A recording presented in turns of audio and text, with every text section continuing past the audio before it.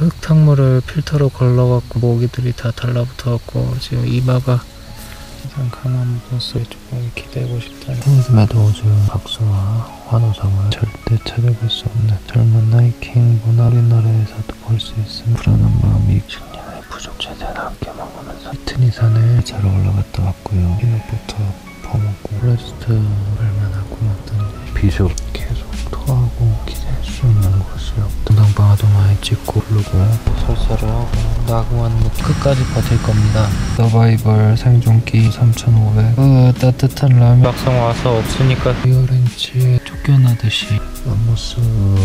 아 움직이기 싫다. 잡아주는 사람이 필요. 근육이 많이 약해. 듀얼럼이 그래 하루 더 쉬자 또 그렇게 막 생각이 나진 않는데. 아, 몇십 마리가 벗어나고 않도록 한 600km 2000마일까지 마무리까지. 새로운 길이 열리고 전망을 크게 했습니다. 45km씩 충분히 경험 쓴 의미가 있을까? 일본 사람만이 볼 수 있고 경험할 수 있다. 배가 완전 빵빵한 조금씩 힘들어지고. 아, 초심을 잃은 거 아닌가? 뭐 해먹고 살아야 되나요? 기록을 남기는 게 전혀 내려놓지 않고. 소다 스프링스 시티랑 이어지겠지. 완전 개고 샤워도 인디펜던스 데이라이드도 구경했고 많은 감동을 내일부터 또 열심히